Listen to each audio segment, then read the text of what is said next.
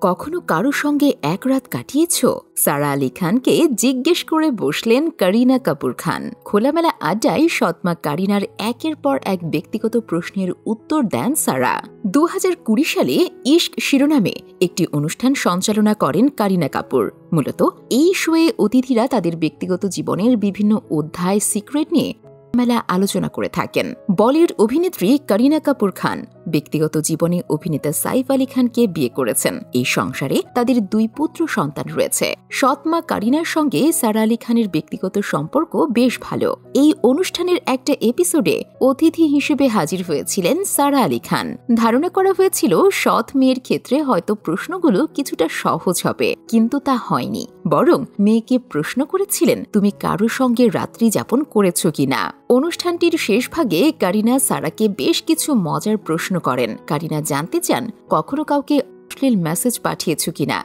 জবাবে সারা আলী খান বলেন হ্যাঁ। উত্তর শুনে কারিনা কাপুর বলেন, আমি তোমার বাবাকে বলে দেব। জবাবে সারা বলেন, নিশ্চয়ই, আমার ধারণা শোটি তিনি দেখছেন। এরপর কারিনা বলেন, আমি বাড়ি গিয়ে সাইফকে সব বলব। এরপর কারিনা প্রশ্ন করেন, তুমি কি কারও সঙ্গে রাত্রি যাপন করেছ? উত্তরে সারা বলে, না। সাইফ আলী খান তার ক্যারিয়ারের সূচনা লগ্নে অভিনেত্রী অমৃতা সিং এর সঙ্গে প্রেমের সম্পর্কে জড়ান। উনিশশো একানব্বই সালে একুশ বছর বয়সে অমৃতাকে বিয়ে করেন তিনি। অমৃতা সাইফের চেয়ে বারো বছরের বড়।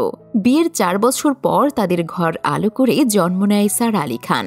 বাবা মায়ের পথ অনুসরণ করে অভিনয় নাম লিখিয়েছেন সারা। এরই মধ্যে বেশ কয়েকটি জনপ্রিয় সিনেমা উপহার দিয়েছেন তিনি। কারিনা প্রসঙ্গে সারা আলী খান একবার বলেছিলেন, কারিনা খুব প্রফেশনাল এবং যেভাবে নিজের কাজ আর ব্যক্তিগত জীবনকে ব্যালেন্স করে চলেন দেখে শেখার মতো। সারা আলী খান অভিনীত সর্বশেষ মুক্তিপ্রাপ্ত সিনেমা যারা হাটকে, যারা বাজকে। রোমান্টিক কমেডি ঘরানার এই সিনেমায় জুটি বেঁধে অভিনয় করেছেন সারা আলী খান ও ভিকি কৌশল। লক্ষণ উদেকর পরিচালিত এই সিনেমা গত দুই জুন ভারতের আঠারোশো পর্দায় মুক্তি পেয়েছে এবং বক্স অফিসে বেশ সাড়া ফেলেছিল এই সিনেমাটি।